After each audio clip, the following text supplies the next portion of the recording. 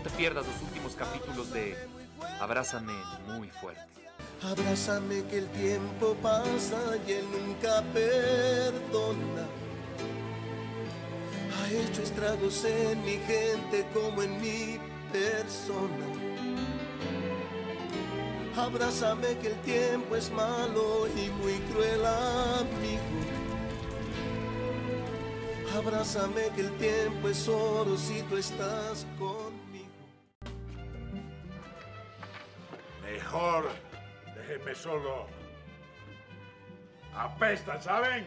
Apestan. Malditos muertos de hambre. Tranquilo, Federico. No te están haciendo nada, no te busques más problemas.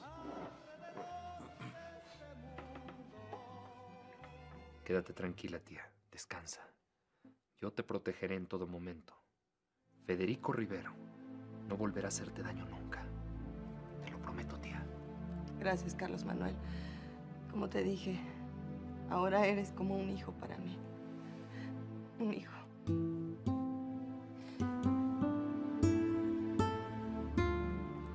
Hoy sí sabes que yo no estoy borracho. No. Solo me tomé unas copas, pero no estoy borracho. Pero no casi te acabas la segunda botella, Federico. No estoy borracho. Y si sigues molestando, me voy. Mira, va a ser lo mejor. Préstame las llaves y yo te llevo. Ahora, tú no estás en, en condiciones de manejar. Vámonos, No, órale. no, no, yo no soy ningún niño para que me estén llevando a mi casa. Eh, Me voy. Me voy. Mira, eres muy necio. Puedes tener algún problema, hombre. Ay. ¡Ah, mi brazo! Váyanse al diablo.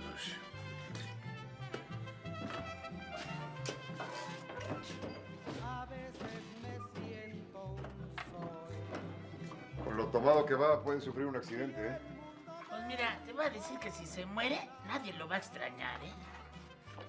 Que Dios me perdone, pero si se mata, nadie va a llorar a Federico Rivero. Nadie, ¿eh? Va a llevar como placa de tráiler. ¿eh? Hasta atrás. Tienes que hacerme caso, hijito. Entiende que esta vida que llevas en la capital no es para ti, hijo. Tú te crees todo un hombre de mundo y por eso te sientes como perdido porque no lo eres, hijito. Tú no perteneces a esta gente, mucho menos a ese medio en el que andas, hijo. Es que el pueblo se me hacía tan chico y yo soñaba con vivir y trabajar aquí, en la capital. Pues sí, pero no. Y lo peor son las compañías. Las compañías en las que andas, hijo. Ese dandy no me da buena espina. Parece un payaso de, de circo. Con esa suficiencia, con esa soberbia. Entiende. Tú eres un muchacho pueblerino, hijito sencillo, humilde. No sé, no sé si irme de aquí sea la solución. Claro que sí, hijito. Vámonos de regreso al pueblo juntos. Cuanto antes, mi rey.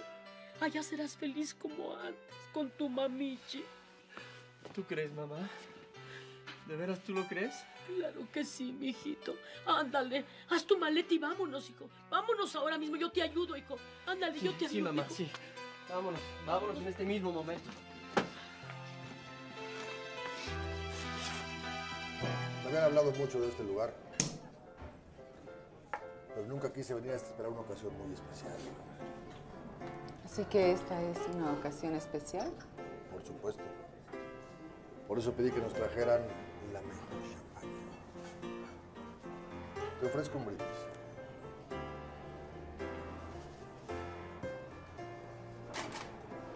Por nosotros. Salud.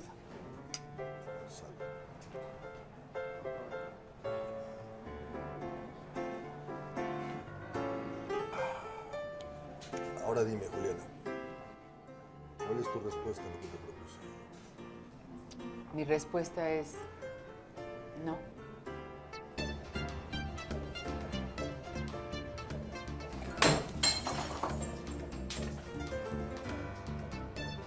Puedo utilizar otros métodos para obligarte a aceptar.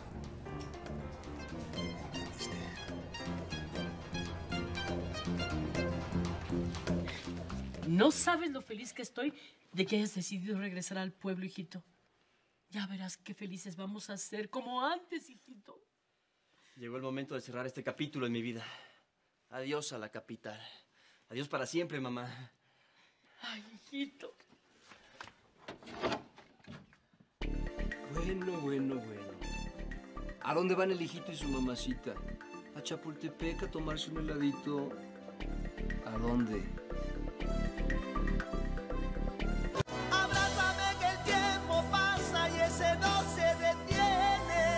A ningún lado. Si tu jefa se quiere regresar a su pueblo, vaya ella. Pero tú no me puedes dejar colgado. Tenemos un asunto pendiente y sabes muy bien que los que me traicionan terminan de mineros. ¿De mineros? ¿Bajo tierra? Exactamente. ¡Ah! ¿Me estás amenazando de muerte a mi hijo? ¿Eh? Condenado payaso de circo, baboso, cretino, idiota. Tranquila, señora. Tranquilita, tranquilita. A mi mamá no la tocas, imbécil. ¿Qué te crees? ¿Eh? Valiente, ¿no? A mí no te me pongas al brinco porque te puedes arrepentir. Yo no amenazo en baño. Y tú lo sabes muy bien.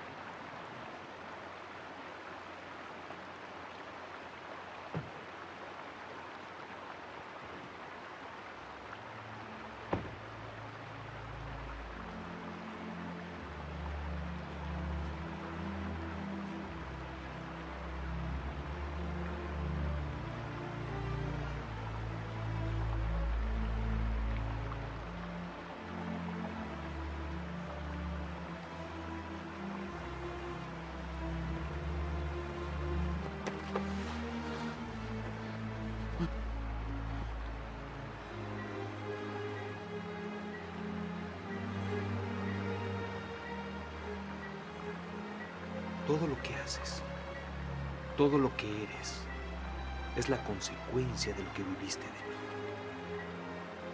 ¿Qué hicieron tus padres, Federico? ¿Qué cosa tan terrible pudieron hacerte para convertirte en el ser tan despreciable que eres?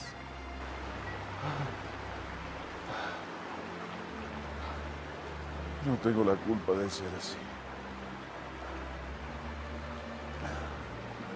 Yo no tengo la culpa de ser así.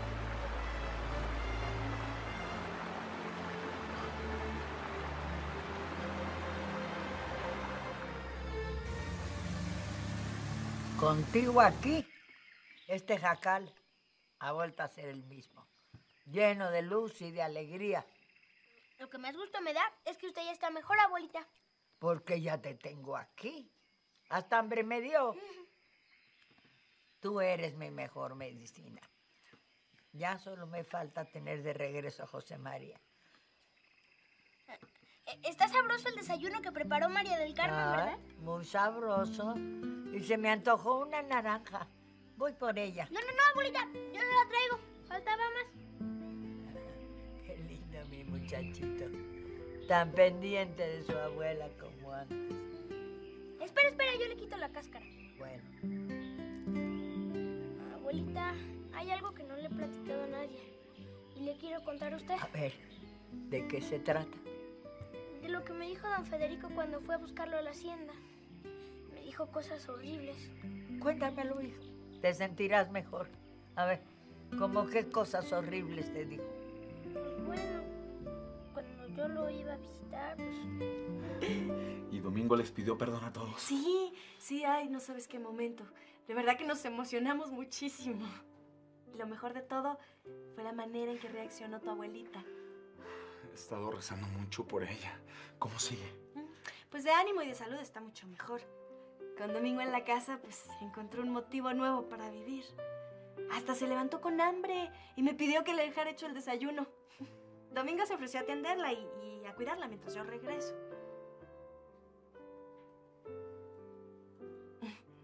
tanto me ves.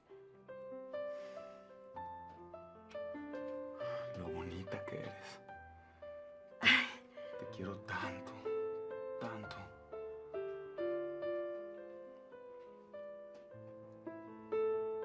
¿Cómo va el caso de José María Marcelino? No podemos cantar victoria. Tenemos puntos a favor y puntos en contra. La situación no es fácil. Federico Rivero no se va a quedar cruzado de brazos. Sacará un as de la manga. Ya lo hizo. Contrató a tres abogados para su defensa. Buscará hundir a José María. No, eso sí que no. No lo logrará. ¿Contrataste tres abogados para el juicio contra José María? Sí. Por eso me urgía que me prestaras dinero.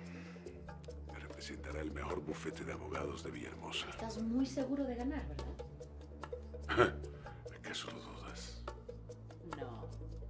Yo creo en todo lo que tú me dices. Ven, ayúdame a quitar este cuadro.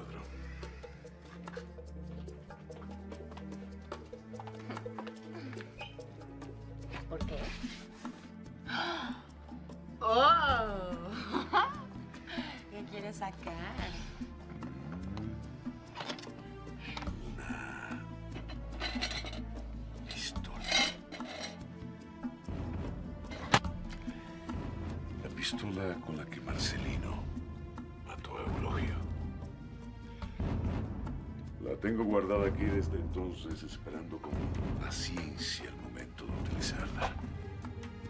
¿Y para qué la quieres? José María me disparó con una pistola igual.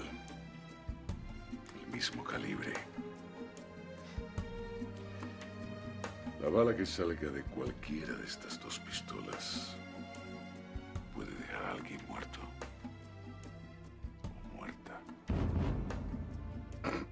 ¿Qué dices? ¿Por qué te asustas? Tú no debes tener miedo. Entonces, ¿quién? No quieres saber demasiado, Débora. Es mejor para ti no saber demasiado.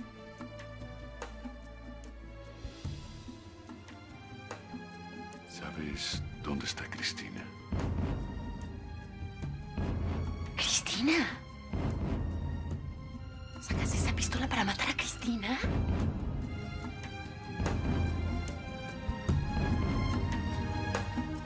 Abrázame que el tiempo pasa y ese no se detiene.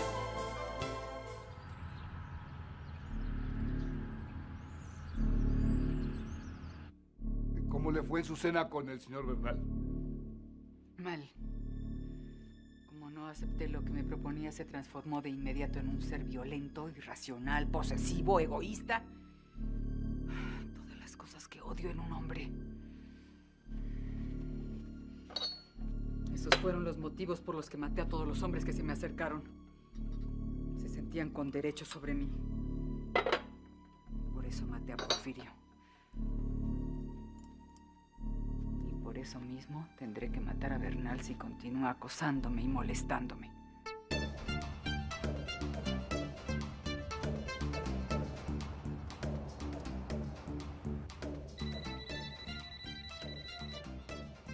Bueno, Sí, bueno. Buenas noticias, Damiana. Tu hermana Juliana mordió el anzuelo. Si me sigo violentando, también intentará matarme a mí. Ya la tenemos. Ya la tenemos. lo que dijimos. Solo hay que encontrar el talón de Aquiles del enemigo para poder vencerlo.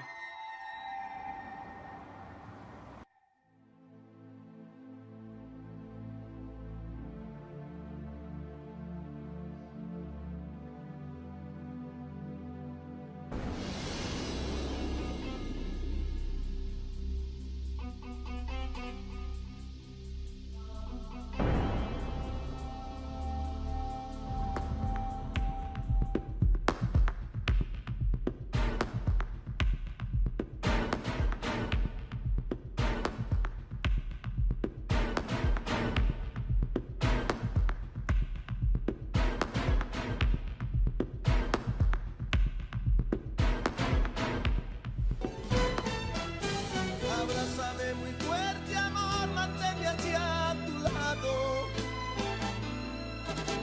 Yo quiero agradecerte, amor, todo lo que me has dado.